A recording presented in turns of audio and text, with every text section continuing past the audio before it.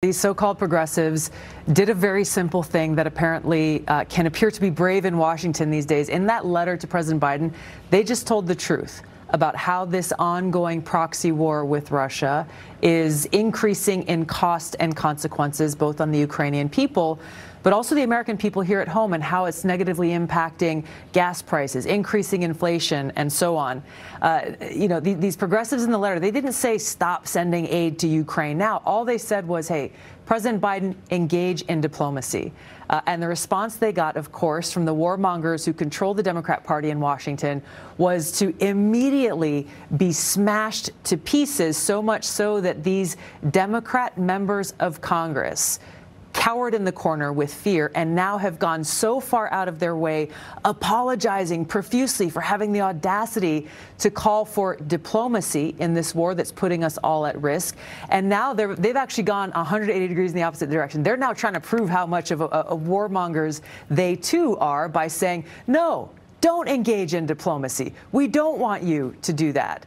Uh, th this is exactly, Tucker, one of the main reasons I left the Democrat Party. They are completely controlled by these warmongers in Washington.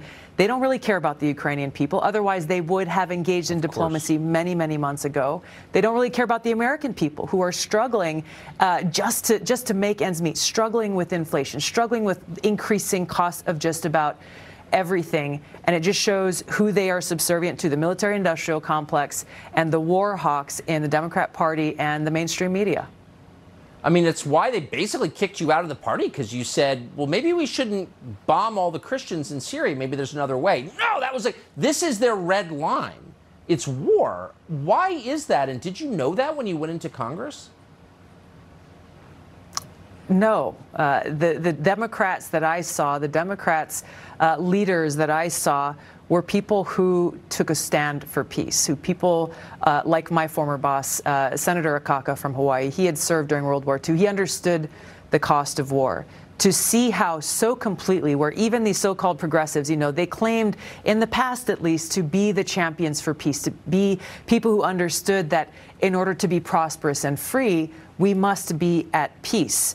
Now, that's still true. We still cannot achieve prosperity and freedom unless we have peace. But now everyone in the Democrat Party and the leadership in Washington is walking in lockstep as war hawks, no one daring to even step outside the line and say, hey, diplomacy, let's exercise diplomacy.